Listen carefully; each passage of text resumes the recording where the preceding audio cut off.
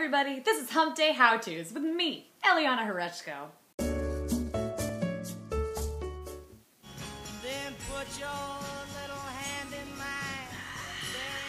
Okay, campers, welcome to the Groundhog Day edition of Hump Day How To's. Depending on when you watch this video, it's almost Groundhog Day. To prepare for Groundhog Day, you need the appropriate attire. I don't know how to make a Monopoly Man suit. That's why this week's how to is the Ready for Anything reversible t-shirt. Step one, prepare the shirt.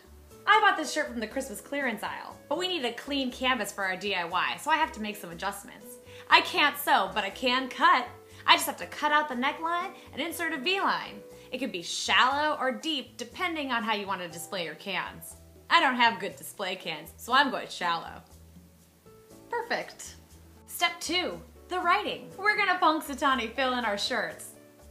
Now, we don't know if Phil is gonna see his shadow or not. That's why the Ready for Anything shirt has to be ready for anything. Anything.